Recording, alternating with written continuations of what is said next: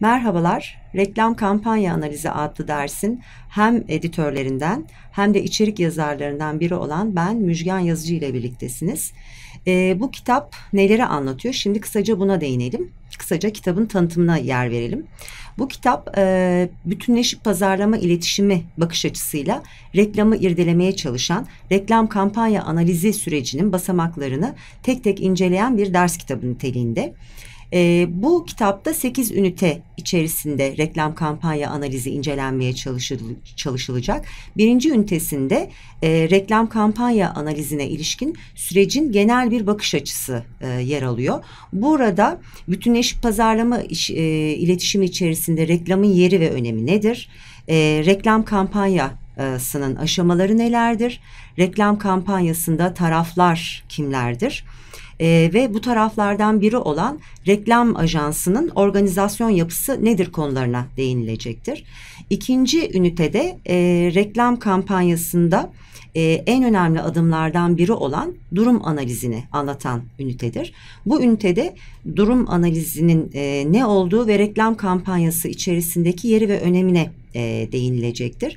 Ve durum analizinin bileşenlerinin ne olduğuna, e, ürün, pazar ya da tüketiciye etki eden faktörlerin neler olduğuna değinilecek. Üçüncü ünite ise durum analizini saptadıktan sonraki pazarlama iletişim stratejisinin geliştirilmesinin aktarıldığı ünite. Burada e, reklam tasarım sürecinde iletişim amaçlarının önemine değinilecek. Özellikle de marka değeri yönetimi, e, reklam stratejisi oluşturmadaki önemine yer verilecek ve alternatif reklam stratejilerinin neler ol, olduğu e, tartışılacak. Dördüncü ünitede yaratıcı stratejinin geliştirilmesi ve uygulanma aşamasına yer verilmekte.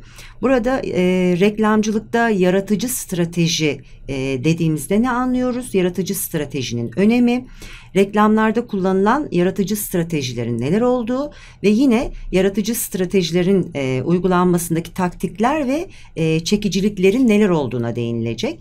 Bir sonraki ünitemiz ise diğer pazarlama iletişimlerinin planlanması sürecine değiniliyor. Yani reklam kampanya süreci, sürecinde pazarlama iletişim araçlarının diğer pazarlama iletişimi araçlarıyla nasıl bütünleştirilebileceğinin açıklamasına yer veriliyor. Altıncı ünitede ise e, medya stratejisi ve amaçlarının belirlenmesine yer verilecek. Medya ve medya planlama kavramlarını açıklayacağız. Medya planı stratejileriyle medya satın alma dinamiklerinin neler olduğunu öğrenmeye çalışacağız. Yedinci ünite ise reklam kampanya etkinliğinin e, son aşaması olan e, etkinlik ölçümlerinin yapıldığı etkililik analizi adlı ünitemiz. Burada reklamın önemi ve etkilerinden bahsettikten sonra bu etkililiğin nasıl ölçülebileceğinden ve bu etkililiğin ölçülmesindeki kullanılan yöntemlerden kısaca bahsetmek istiyorum. 8. ünitede ise e, dijitalleşme ile birlikte yeni medya ortamında reklamcılığın dönüşümünden bahsedilecek. Yine burada yeni medya ortamı dediğimiz şey nedir? Bu ortamın özellikleri nelerdir? Özellikle e, internet ortamında kullanılacak kullanılan içerik üretimi, e, reklamcılığın yeni medya ortamına uyumu ve tüketicinin bu yeni medya ortamında ürettiği reklam kavramına değinilecek ve böylece reklam kampanya analizinin bütün ünitelerini bitirmiş olacağız.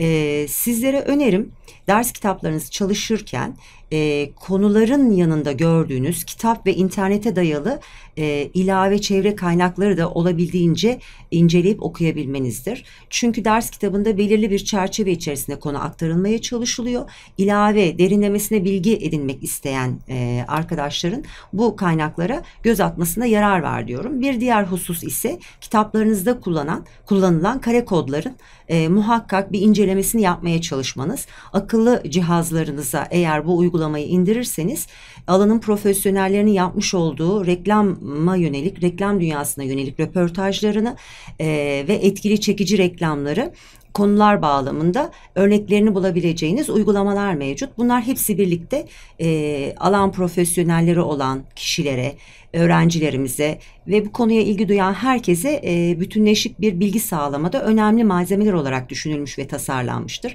Hepinize iyi okumalar dilerim. Hoşçakalın.